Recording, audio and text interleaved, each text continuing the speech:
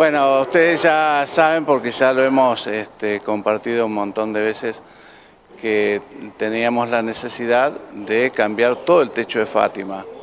Realmente hemos recibido muchas colaboraciones, eh, nos falta todavía cubrir la mano de obra, parte de la mano de obra, y bueno, y acá la, banda, ¿no es cierto?, este, ofreció este, de una manera generosa eh, hacer dos actuaciones, ¿no? Este, será el día 26.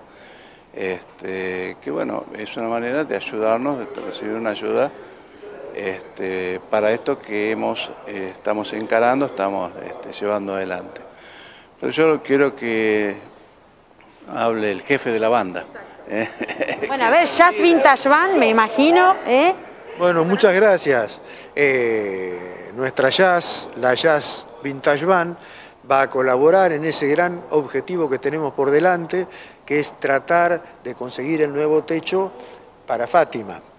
Es por eso que, eh, bueno, vamos a explicar un poquito ahora en qué consiste nuestra orquesta para que la audiencia se entere. Nadie mejor que eso, que nuestro presentador Osvaldo Sacheto, para explicar en qué consiste nuestra orquesta. Eduardo. ¿Qué tal? Buenas noches, gracias por venir. Muy bien.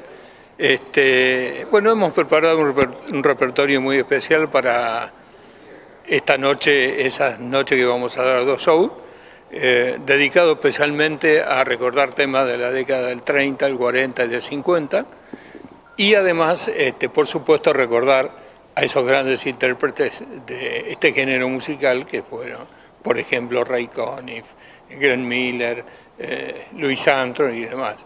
Eh, creo que va a ser una buena una buena actuación y bueno, además colaborar con la capilla este, Nuestra Señora de Fátima. bueno, cuéntenos, eh, ¿dónde se va a realizar este evento? Bueno, esto lo, se va a realizar en, la emblemática sala de la Sociedad Francesa, ahí en Mitre y Alvear. O sea, en, dos shows que uno va a ser a las 20 y otro a las... o 20 y 30 y 22 creo que es, ¿no? Sí, correcto. ¿Cómo la gente puede comprar las entradas? Sí, las entradas se venden en forma anticipada, eh, las pueden venir a comprar eh, acá a la parroquia, eh, a la parroquia de Pompeya, todos los días a partir de las 17.30 horas. y también se venden en el roperito de la capilla de Fátima, martes y jueves, a partir de las 14 horas. ¿Continúan con los budines y con todo ese trabajo que estaban haciendo para el techo?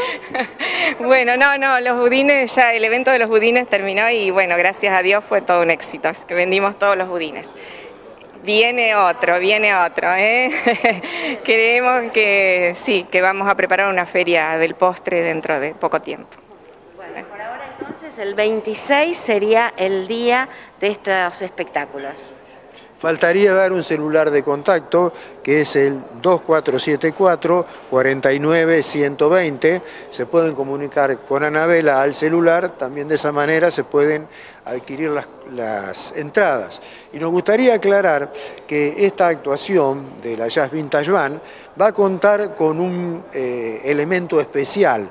Parafraseando un poco a Frank Sinatra, va a venir eh, un cantante específicamente de Buenos Aires con las características de él, que ha sido una persona que antes de dedicarse al canto ha estado en salto desde ya de chico nos hemos conocido todos y nos conoce a todos. Se los voy a presentar. Sergio, por favor. Sergio Brugué es nuestra estrella invitada, es va, quien quien va a cumplir el difícil rol de Frank Sinatra ah, en este show, interpretando nuestra, eh, nuestro último tema, preparado específicamente, instrumentado, para que él pueda cantarlo al mejor estilo del que fuera denominado La Voz. ¿eh?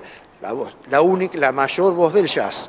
Y de eso se va a ocupar Sergio, con quien nos une no solo una profunda amistad, sino razones de parentesco, porque somos primos, aunque mucha gente no lo sepa. Y hay mucha gente que lo conoce a Sergio de antes, va a poderse deleitar con todo lo que, lo que es la voz de Sergio, muy, muy parecida a la de Frank. ¿eh? Y bueno, hay un detalle de Frank Sinatra cuando la señora de Frank Sinatra, Gardel fue a verlo una vez a Frank Sinatra, y la señora, la señora de Frank Sinatra le pidió un consejo a Gardel, a ver cómo tenía que manejar Frank Sinatra su carrera artística. y le dijo, Frank le dijo, señora, que deje las malas compañías. Este no es el caso porque consideramos que nosotros somos buenas compañías. Así que Sergio es nuestra estrella. Do- Doble responsabilidad entonces.